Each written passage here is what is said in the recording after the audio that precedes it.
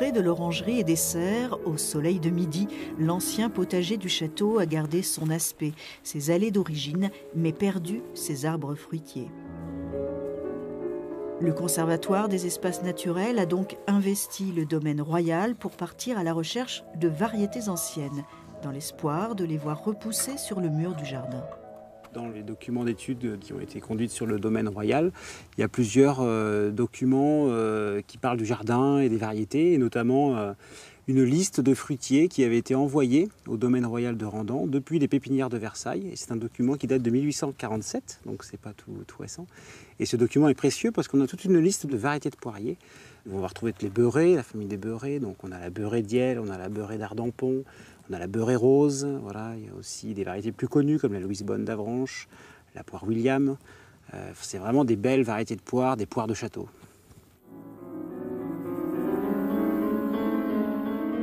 Au XXIe siècle, le domaine royal de Randan devient une réserve de biodiversité. Au contrebas du château, le verger d'antan et la plantation de 180 abricotiers ont disparu. Des variétés locales de pommiers sont remises en terre la variété piochon, euh, qui est une variété donc, euh, ici, présente. Euh, c'est une variété donc, qui est originaire de l'Usiga, c'est pas très très loin d'ici, et est une variété qui était très recherchée, notamment pour la qualité de son jus. C'est une variété qui a des rendements en jus très très importants, une variété qui n'est pas du tout sensible aux maladies, qui se conserve très bien, et donc on a retrouvé, regreffé cette variété, et naturellement on l'a réintroduit ici au domaine royal, parce qu'on est vraiment tout près de son territoire d'origine.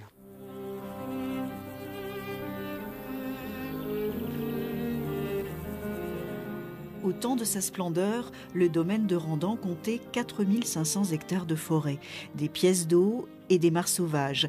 L'histoire nous dit que Louis-Philippe et Adélaïde d'Orléans s'y promenaient longuement, mais allait-il admirer les libellules? On l'appelle Plactinemis, c'est une libellule qui a des gros tibias. C'est très caractéristique. C'est une bête qui est très commune, euh, qu'on trouve sur les abords, souvent se faire réchauffer. Elles aiment bien les petites ronces comme ça, entre autres. Et c'est vrai que euh, en voit beaucoup sur ce site-là. L'art de la manipulation d'une bête comme ça, c'est que à un moment ou un autre, elle puisse repartir. Laurent veille sur la biodiversité. Il dresse l'inventaire des libellules qu'il connaît sur le bout des doigts. En fait, euh, elle chasse en même temps euh, qu'elle patrouille. On est vraiment dans un, dans un phénomène naturel. Regardez là, il y en a deux qui se rencontrent, et là, c'est la guerre. T'es chez moi, moi je suis chez moi, et on va se poursuivre jusqu'au moment où l'autre euh, ne sera plus présent. Et hop, elle revient sur son territoire. Une fois qu'elle a chassé l'autre, elle revient sur son territoire et elle tourne. Elle patrouille, elle patrouille, elle patrouille.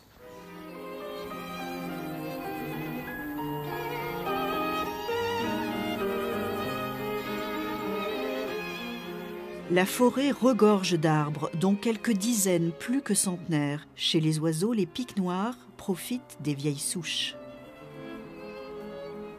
L'arbre mort offre la vie à tout un cortège d'insectes, d'oiseaux qui seront apparentés après euh, à ce milieu, à cette petite niche écologique.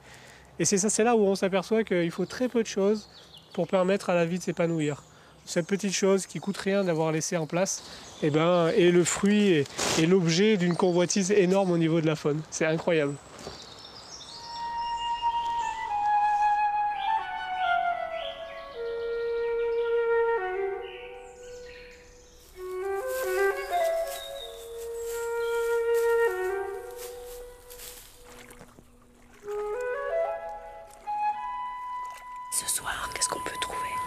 Pour l'espèce de grenouille qu'on pourrait trouver ici, comme la grenouille verte, c'est sa période de reproduction.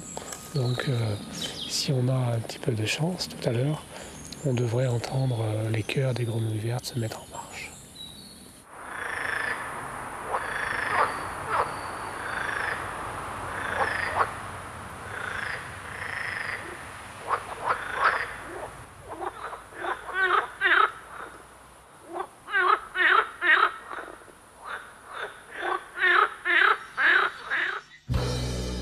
Demain, nous verrons comment les arbres, le paysage, la lumière du domaine royal de Randan inspirent les artistes contemporains.